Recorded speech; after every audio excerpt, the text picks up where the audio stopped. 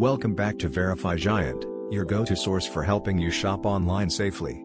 Today, we're taking a deep dive into the infamous Apartamenty Jasny Brzeg in Ladislaw, Poland. Let's break this down like a bad dance move at a wedding. First up, the location. Nestled just a short walk from Ladislaw Beach, it's about as close to the sea as your cousin's messy bun is to disaster. Score, 8 out of 10. Now, onto the rooms.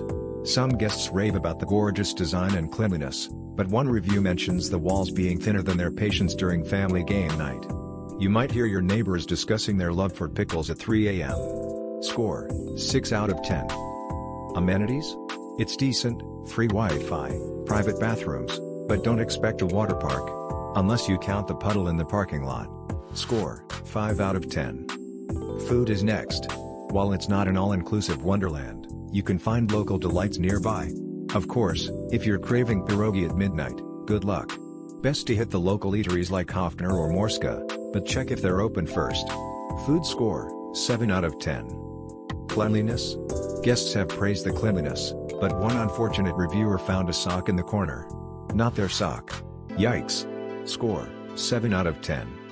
Staff friendliness is generally favorable, but a few guests complained about the overly chatty receptionist who seems to confuse hotel check-in with a therapy session. Score, 6 out of 10. Value for money?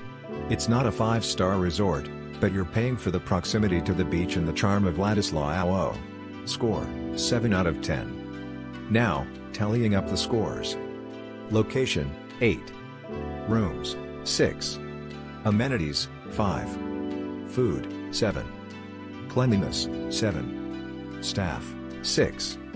Value, 7. That gives us a total of 46 out of 70, which translates to a not so glamorous 58 out of 100. So is Apartamenty Jasny Brzeg worth it? Well, maybe if you're looking for budget-friendly digs and don't plan on having a wild beach party. Otherwise, keep scrolling.